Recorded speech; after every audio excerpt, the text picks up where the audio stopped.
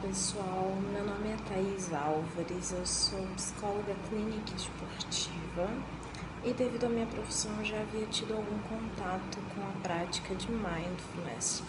E através do curso que eu fiz com o Tanaka eu vivenciei a teoria de todos os estudos que eu já havia fazendo sobre esse tema. E eu não nego que no início eu tive dificuldade cheguei até a cochilar em algumas práticas. Eu acho que para quem estiver vendo esse vídeo e acontecer a mesma coisa, você não é único. É, estamos contigo.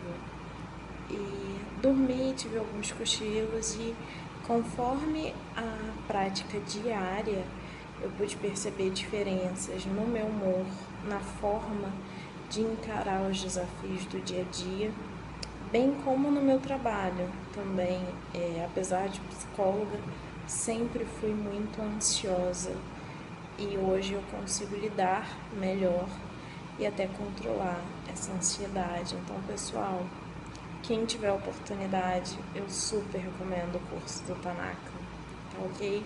Muitíssimo obrigada pela experiência, foi ótima. Tchau, gente!